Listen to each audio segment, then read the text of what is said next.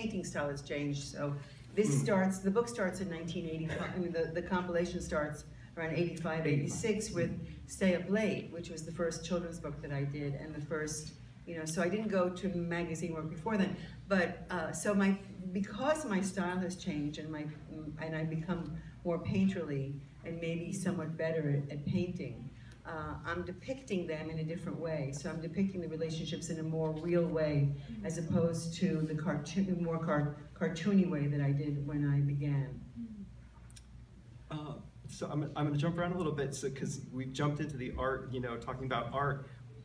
When you um, and I stole this question by the way, it's such a it's such a good one. I, I read it somewhere else. I decided to steal it for tonight. Um, I'm going to steal an answer. Okay, good.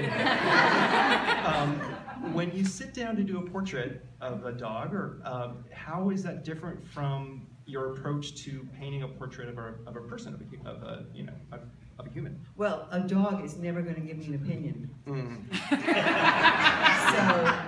So it's so much more fun to do a portrait but. I, I hate, kind of hate doing portraits of people. No, mm-hmm. I don't. I, I don't like commissions for people because then that's a that's a sticky wicket. But Mm. I do like the idea that a dog just is not going to have an opinion, mm. and that's and that's the beauty of the relationship with the dog. Mm. You know, we, we you know we, we, we're talking a lot about being judgmental in this world and how judgmental we are about everything. And then when you have a relationship with a dog, the dog does not say one word ever.